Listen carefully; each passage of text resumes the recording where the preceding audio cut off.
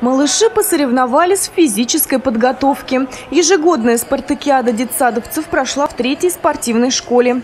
В этом году отмечают небывалое количество участников – 54 детских сада. В каждой команде по 6 человек – 3 мальчика, 3 девочки. Преградой на пути к здоровому образу жизни в этот раз встала непогода. Для любого сада это праздник, для детей тем более, которые выступают в таких соревнованиях впервые. Добирались прекрасно на спецгазели, без спецсигналов, так что великолепно. Ребята соревновались в челночном беге, прыжках в длину с места и метании мяча.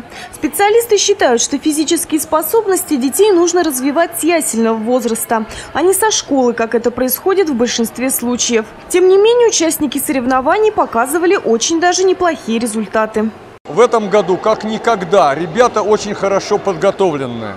Допустим, вот нормативы в наклонах туловища они выполняют на уровне второклассников, что очень радует.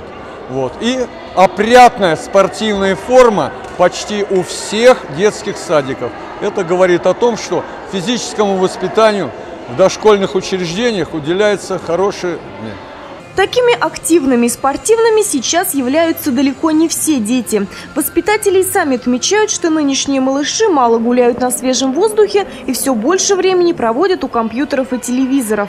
А потому занятия физкультуры в детских садах нужно проводить ежедневно. Сейчас дошкольные учреждения уделяют этому в среднем 2 часа в неделю. Возможно, подобные соревнования заставят воспитателей пересмотреть распорядок дня в пользу физической культуры. Елена Белова, Андрей Семиволков, РТВ Иванова.